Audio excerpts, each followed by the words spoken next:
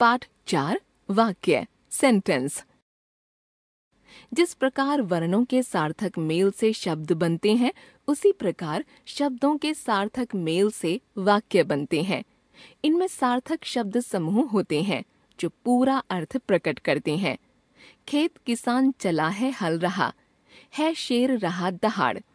उपर्युक्त वाक्यों में शब्दों का स्थान सही नहीं है, जिससे इनका अर्थ स्पष्ट नहीं हो रहा।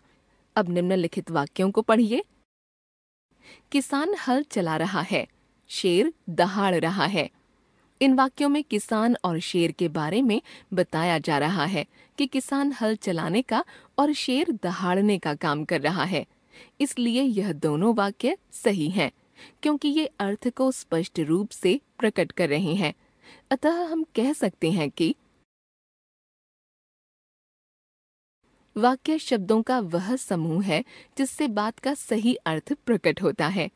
ध्यान दीजिए, वाक्य बनाते समय हमें यह ध्यान रखना चाहिए कि उसमें कोई व्यक्ति या वस्तु अवश्य हो, जिनके द्वारा किए जा रहे या किए गए काम के बारे में बताया गया हो।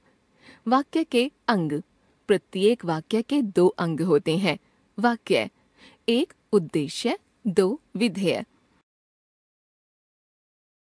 उद्देश्य, जिसके बारे में कोई बात कही जाए, उसे उद्देश्य कहते हैं। विधेय, उद्देश्य के बारे में जो कुछ कहा जाता है, उसे विधेय कहते हैं। नीचे दिए गए वाक्यों में उद्देश्य और विधेय इस प्रकार हैं। किसान हल चला रहा है। इस वाक्य में किसके बारे में बात की जा रही है? किसान के। किसान उद्देश्य है। क्या बात की जा रही है? हल चला रहा है। यह विधेय है। शेर दहाड़ रहा है। इस वाक्य में किसके बारे में बात की जा रही है? शेर के। शेर उद्देश्य है। क्या बात की जा रही है? दहाड़ रहा है। यह विधेय है।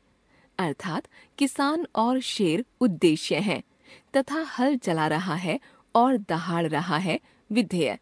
कुछ अन्य वाक्यों के उदाहरण इस प्रकार हैं। वायुयान उड़ रहा है। वायुयान उद्देश्य, उड़ रहा है विधेय। पिताजी अखबार पढ़ रहे हैं। पिताजी उद्देश्य, अखबार पढ़ रहे हैं विधेय। सपेरा बीन बजा रहा है।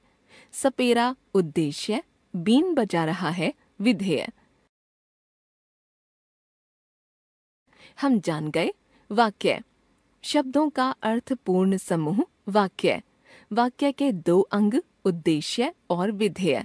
जिसके बारे में बात की जाए, उद्देश्य। उद्देश्य के बारे में जो कुछ कहा जाए, विधेय।